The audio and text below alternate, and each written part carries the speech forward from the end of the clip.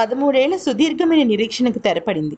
భారత భారత జట్టు టీ ట్వంటీ ప్రపంచ కప్లో జగజ్జేతగా నిలిచింది. విశ్వ విజేతగా నిలబడింది.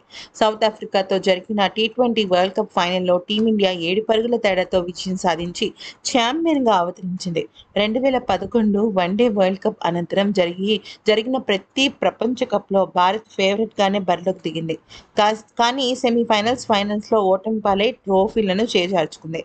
కానీ గత పొరపాటును సరిదిద్దుకుని టీ ట్వంటీ వరల్డ్ కప్లో భారత్ అసాధారణ ప్రదర్శనతో చెలరేగింది. ఫైనల్లో ప్రత్యర్థి విజయానికి చేరువుగా వెళ్ళినా కూడా ఓటమిని అంగీకరించకుండా మన జట్టు అద్భుతంగా పోరాడి కప్పుని ముద్దాడింది. ఈ క్రమంలో వరల్డ్ కప్ గెలిచిన టీమిండియాకు బీసీసీఐ భారీ నజరానా ప్రకటించింది. ఏకంగా నూట పాతిక కోట్ల రూపాయల నగదు ఇవ్వనున్నట్లు బీసీసీఐ కార్యదర్శి జైషా ప్రకటించాడు. అసలు ఇంతకీ ఆయన ఏమన్నాడంటే ICC men's T twenty World Cup గెలిచిన భారత జట్టుకు ఒక నూట ఇరవై ఐదు కోట్ల రూపాయల ప్రైజ్ మనీ ప్రకటిస్తున్నట్టు చూస్తున్నాం అయితే స- ఆ టోర్నమెంట్ ఆద్యంతం అసాధారణ ప్రతిభ సంకల్పం క్రీడా స్ఫూర్తితో టీమిండియా సత్తా చాటింది.